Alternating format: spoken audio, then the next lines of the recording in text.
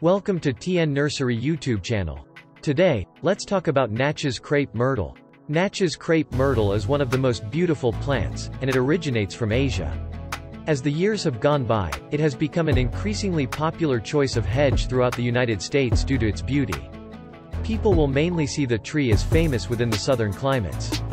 Natchez crepe myrtle is one of the world's most extending blooming trees This popular shrub is that when they bloom, they bloom for between 60 to 120 days, making it one of the world's most extended blooming trees. A person can extend the red, pink, white, and purple blooming by doing what is referred to as deadheading. It is where the dead blossoms are removed from the tree. It can lead to a second or even a third round of blooming.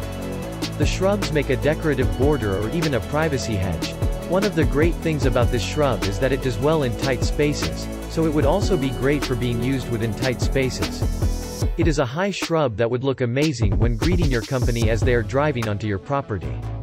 Another great thing about the crepe myrtle is that, besides being a shrub that blooms for an extended period, it is also hardy and highly disease-resistant plant. People will also find that it is a fast grower. This shrub can grow several feet within a single growing season. Natchez crepe myrtle is for sale at TN Nursery, with low prices and fast shipping.